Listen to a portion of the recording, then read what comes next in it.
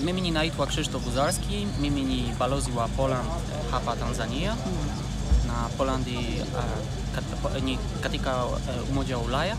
Leo tulipata nafasi ya e, kuangalia sehemu ya mradi huu sehemu ya madini hapa e, kampuni hiyo na tumefurahi sana kupata nafasi ya kufanya hivyo hicho kwa e, ilikuwa kitu cha kuvutia kuangalia kama tunaweza kuchukua madini kutoka uh, kutoka soil hapa na ina, nilifikiri ni, ni nafasi moja tu eh, kwetu mabalozi ya, um, ya Ulaya eh, eh, kuja hapa eh, Mwanza na eh, kuangalia mradi kama kama.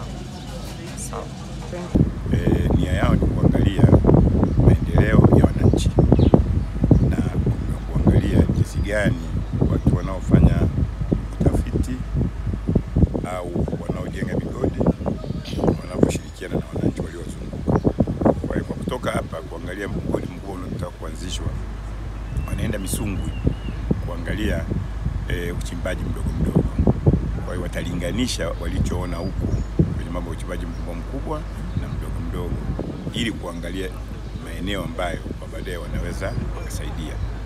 Wanatafuta e, kwa Kiingereza wanaita gap analysis, wanatafuta gap iko wapi ambayo na wao wanaweza wakafit in katika kuendeleza sekta yetu ya madini. na nimeona umetembea nao wewe, kwa mtazamo wako umeona wamepokeaje hatua ambayo mnayo mpaka sasa hivi? Unajua, wao kutembelea huu mgodi kuna sababu nyingi. Sababu ya kwanza ni kwamba sisi mgodi wa mwisho kugunduliwa hapa nchini ilikuwa miaka 2008 na 2009 kati ya Buzwagi na Tulawaka. Kuanzia hapo hakuna mgodi wowote ambao umewahi kugundulika, na huu mgodi umegundulika baada ya kufanya mabadiliko makubwa katika sekta ya madini nchini. Kwa hiyo huu mgodi utakuwa kielelezo, wamekuja kuangalia mgodi huu kama kielelezo. Je, mabadiliko katika sekta ya madini yanaendana na uwekezaji wa kutoka nje? Kwa kweli leo wameridhika, wameona kampuni inayofanya hapa utafiti ni ya Australia na Australia wako, ni, ni, ni wababe kwenye mining kwa sababu wana miamba kama ya kwetu, kila kitu tunafanana. Kwa hiyo sisi tulipo hapa tunafurahi kwamba na wao wameona kwamba e, wawekezaji wapo na wanachapa kazi kama kawaida. Kwa hiyo reforms zilizofanywa na serikali sio mbaya, ni nzuri kwa sababu hawa Kwa majina naitwa Asia Nyingaga, ni mkuu wa wilaya ya Sengerema. E, kwanza kabisa tunamshukuru Mwenyezi Mungu kwa kuweza kutufikisha leo hii salama, lakini kama nyinyi wenyewe mlivyosema na mlivyoona, leo tumepata ugeni mkubwa sana ambao unaongozwa na balozi wa kutoka Umoja wa Ulaya European Union ambayo yuko hapa Tanzania. Tuna mabalozi zaidi ya kumi ambao wamekuja kututembelea. Nyinyi wenyewe nafikiri mmeona, hii sio mara nyingi inatokea. Walikuja katika mkoa wa Mwanza, lakini baadaye kuna wilaya chache ambazo walisite kwa ajili ya kwenda kuzitembelea, mojawapo ikiwa Sengerema. Na Sengerema waliamua kuja kwenye huu mgodi kwa sababu nyinyi wenyewe mnajua huu mgodi pia ni una matumaini makubwa hata kwetu sisi wenyewe, kwa sababu ni mradi mkubwa. Ukitoa GGM ni mgodi ni mgodi wa pili, ukitoa GGM uliopo Geita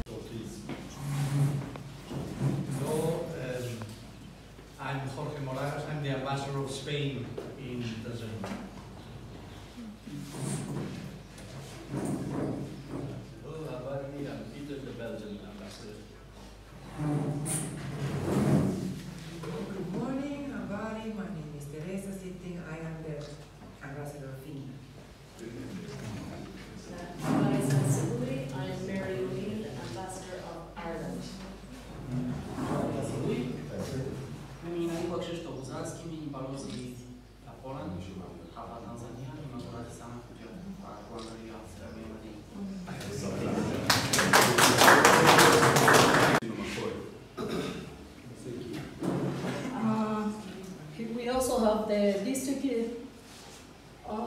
30? Ah, katibu, okay. Katibu wa wilaya. I'm Welcome Thank you. He's here for our district uh, secretary for CCM also. Ah, uh, after that, we have the oh, the deities. us here today, thanks to the management uh, of the mine of the Sota Corporation Thank you to the local authorities for the fantastic assistance that they Habari za asubuhi, mimi naitwa Marco Lombardi, ni balozi wa Italia nchini Tanzania. Asante sana. Okay. Um, Well, welcome, welcome to the ambassadors, welcome to the district commissioner, welcome to the regional uh, colleagues, welcome to the district security officer um, committee. Just very briefly, I'll introduce